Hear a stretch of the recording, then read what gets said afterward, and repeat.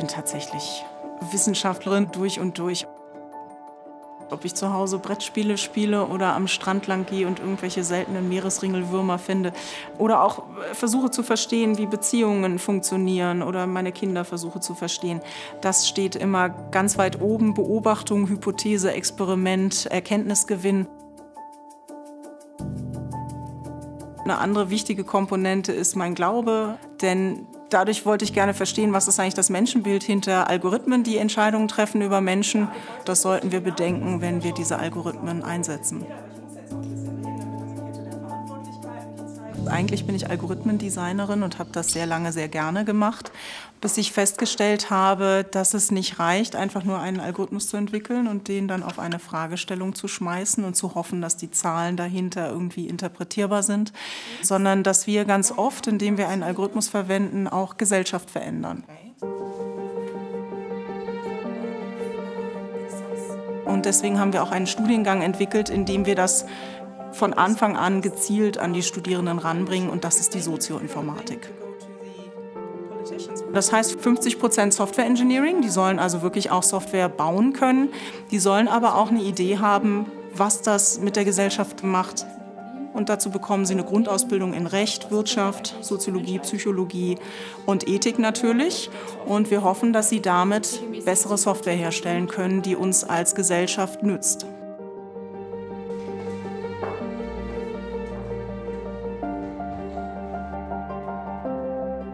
Kai ist eine Zeichenfigur, die ich mir ausgedacht habe, weil ich, während ich Texte geschrieben habe, immer gedacht habe, ach, das müsste man jetzt bebildern.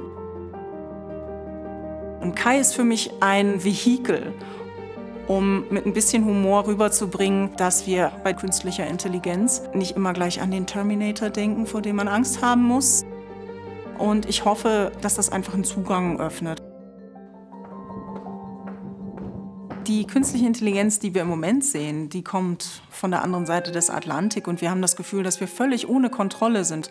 Und das ist eine sehr unschöne Situation. Die KI, die wir in den nächsten zehn Jahren sehen werden, das wird sehr viel näher an uns dran sein.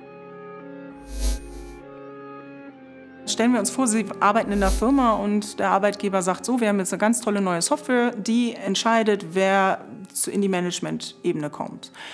Und da möchten Sie ja eigentlich schon gerne wissen, wie funktioniert das Ding? Habe ich überhaupt eine Chance? Was muss ich verbessern, damit die Maschine denkt, dass ich in die nächsthöhere Ebene aufsteigen kann? Und im Moment wäre es unklar, wer dafür verantwortlich ist und wer sich da einbringen kann. Und ich glaube, die meisten würden auch davor zurückschrecken. Davon verstehe ich nichts. Wie soll ich da mitdiskutieren? Und da möchte ich mit meiner Wissenschaftskommunikation gerne für Aufklärung sorgen, für Empowerment, dass Leute wissen, ach, so schlimm ist das alles gar nicht, das sind große Namen. Da ist aber immer noch keine Magie drin. Ich kann verstehen, was das ist und wie das funktioniert. Und ich kann die richtigen Fragen stellen.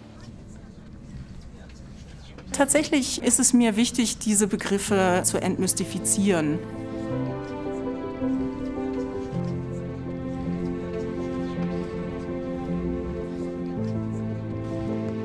Wir versuchen, Menschen auf vielen verschiedenen Kanälen zu erreichen. Wir haben zum Beispiel eine Ausstellung mitbegleitet und haben da Ausstellungsgegenstände designt. Wir versuchen mit Lego-Männchen fürs Fernsehen zu erklären, wie man Entscheidungen trifft. Und ich bin ganz gerne auf Twitter unterwegs, um zum Beispiel zu berichten aus meiner Kommissionsarbeit. Ich bin beratendes Mitglied für die Enquete-Kommission Künstliche Intelligenz des Bundestages und aus diesen Sitzungen heraus so ein bisschen zu twittern. Das hilft, glaube ich, damit Bürgerinnen und Bürger sehen, was wir da eigentlich tun und das ein bisschen transparenter zu machen. Das Netzwerken ist vor allen Dingen für die Sache wichtig. Wenn man wirklich verstehen will, welche Auswirkungen Software auf Gesellschaft hat dann müsste man Experte in so vielen Dingen sein. Das ist einfach nicht möglich. Und das heißt, es ist für mich überlebensnotwendig, dass ich in jeder Fachdisziplin Leute habe, die Geduld haben, mir etwas zu erklären aus ihrem Fach und die auf der anderen Seite auch selber einen Gewinn darin haben, wenn ich ihnen erkläre, was bei uns die Technologie ist. Ohne diesen Austausch könnten wir nicht wirklich diese völlig neuen Phänomene verstehen und deswegen ist das absolut vital.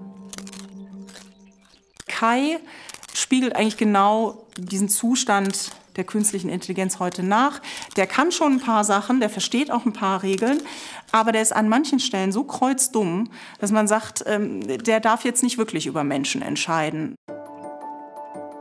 Und eine KI, die bei mir in der Vorlesung säße, die sollte die Ohren aufsperren, wenn wir darüber reden, wie widersprüchlich Menschen sind.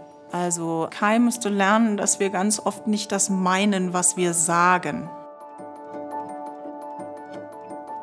Ich wünsche mir, dass wir ein gutes Händchen darin haben, auszusuchen, wo KI uns als Menschen sinnvoll unterstützen kann und wo wir die Finger davon lassen sollten. Und natürlich müssen wir als Wirtschaftsstandort auch schauen, dass wir innovativ bleiben und neue Services und Produkte entwickeln.